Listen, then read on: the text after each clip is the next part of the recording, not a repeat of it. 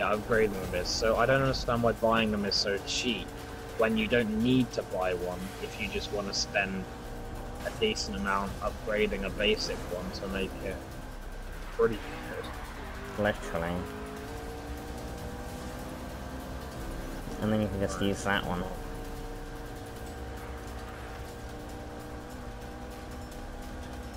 Oh, well, yeah, so I'm gonna think of my way to it. Wait, I just want to two by doing one mission. Either I'm blind or a car just like popped into existence a millisecond before I hit it.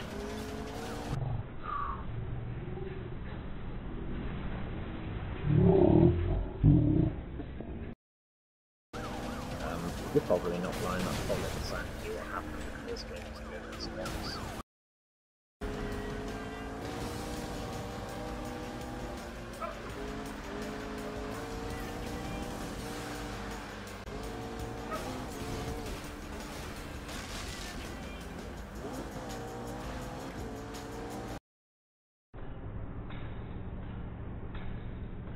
Amen.